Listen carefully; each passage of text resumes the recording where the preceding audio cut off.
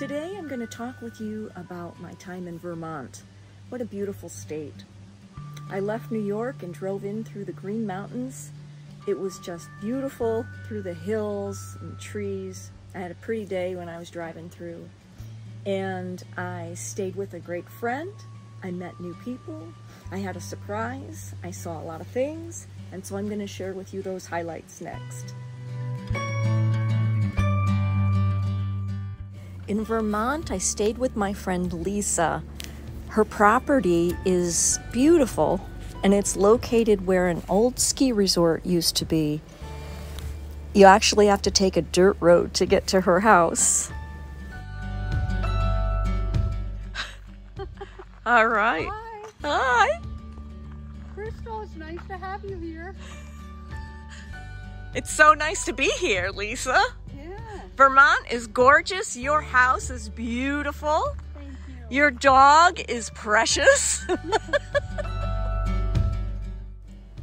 Just a short drive from Lisa's house is Williamstown, Massachusetts, and Lisa took me to the Clark Museum. Here are some of the beautiful pieces of artwork that I saw. Just a few. One Winslow Homer, Claude Monet, Mary Cassatt, and Camille Pissarro. I just had to share a few. After our day at the museum, Lisa and I got a big surprise. Look who showed up in Vermont. That's right, that's Dave. He was on his way heading a little further east and he spent a day or so with us in Vermont. It was great to see him and catch up. Lisa's friend Margaret has horses, and one day we stopped by to visit. They were just beautiful.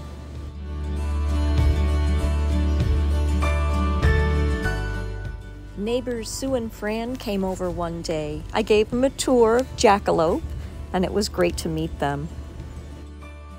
Once a week, Lisa picks up her vegetable box from the farm co op she belongs to, and we got to pick fresh peas. And since Lisa is a professional chef, she made incredibly delicious meals, including using the peas. While in Vermont, we traveled around to see some beautiful places. We went to Hogsback Mountain, where you can see all the way from the Massachusetts Berkshires through the Green Mountains of Vermont, all the way up to the White Mountains in New Hampshire. This picture is a shot of the White Mountains seen from Vermont. These couple of photos are some of the other beautiful things I saw in nature while I was in Vermont.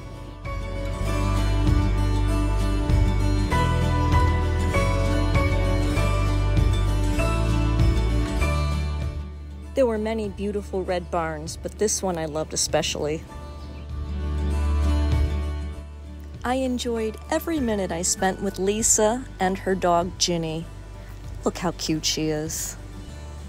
It was a great time in Vermont. Lisa, thank you so much for your hospitality and your friendship.